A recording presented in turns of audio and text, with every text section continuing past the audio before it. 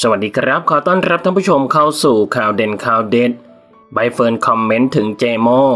ถูกจับตามาพักใหญ่แล้วล่ะครับสำหรับกระแสข่าวลมพัดหวนของนักแสดงพิธีกรสาวใบเฟิร์นพัสกร และอดีตแฟนหนุ่มอย่างเจโม่จาตุรน หลังจากที่ก่อนหน้านี้จบกันไปแบบไม่ค่อยสวยเท่าไหร่ หลังเปิดตัวแล้วมีสาวออกมาแฉว่าเจโม่คบซ้อน ซึ่งก่อนหน้านี้ก็มีภาพใบเฟิร์นและเจโม่ร่วมเฟรมกันอีกครั้ง งานนี้ก็ทำให้แฟนๆอดสงสัยไม่ได้ว่าเอ๊ะกลับมาคุยกันแล้วหรอทำไมถึงมีภาพไป hangout หรือรวมตัวกับเพื่อนด้วยกัน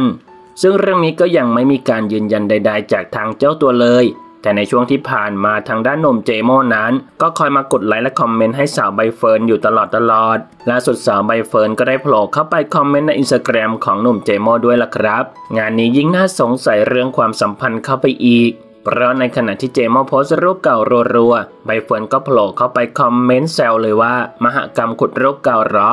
ซึ่งหนุ่มเจโม่ก็เข้ามาคอมเมนต์ตอบกลับเลยว่า ไม่มีรูปลงอาจารย์ แหมก็ไม่รู้เหมือนกันนะครับว่าคู่นี้เขากลับมาคุยกันตั้งแต่ตอนไหน